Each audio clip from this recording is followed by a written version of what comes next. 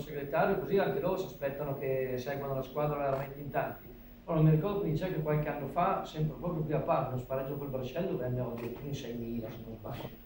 Quindi ci aspettiamo una bella risposta. Forse ce ne sarebbero stati di più se avessimo giocato il 29 perché sarebbe stata anche per loro la partita decisiva, mentre così loro poi giocheranno la successiva in casa col Gubbio, quindi magari qualcuno rinuncia alla trasferta e aspetta la, la partita in casa. Magari arriverà qualcuno anche da